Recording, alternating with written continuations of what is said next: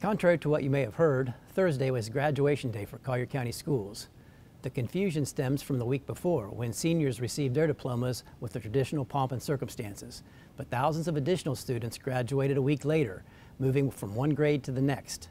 Most notably, fifth graders graduated to middle school and eighth graders have earned the right to call themselves incoming high school freshmen. Ceremonies at the schools marked the occasions. I was not asked to speak at a fifth or an eighth grade graduation ceremony, again, but if I had, I'm pretty sure I know what I would have said. I'd say the same things every commencement speaker has said at every high school and college graduation over the past century, only I'd say it to a younger audience. Things like, today is not the end, but the beginning. The beginning of acne, the beginning of feeling awkward around girls, and go out and make your way through this world but mainly make your way through the hallways. You're changing classes four or five times a day now, and you've only got a couple of minutes to do it, so hurry along.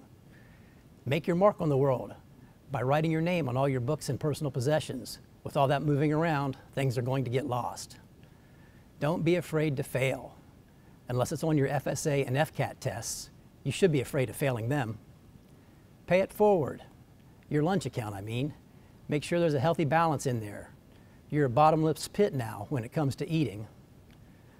Don't be satisfied just to follow in the footsteps of those that have gone before you. They tracked gum all over the hall. Trust your instincts to be wrong most of the time. Listen to your parents and your teachers. You're still a kid. Follow your dreams, except that one with you and the head cheerleader. It's probably best to keep that dream to yourself. Knowledge is the key to unlocking your potential and your locker, so know the combination and don't forget it. And finally, good luck. You're going from being the toughest, biggest, oldest kids on the campus to being the littlest and the youngest. You're going to need it.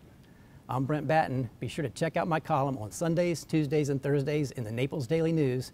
And as always, thanks for watching.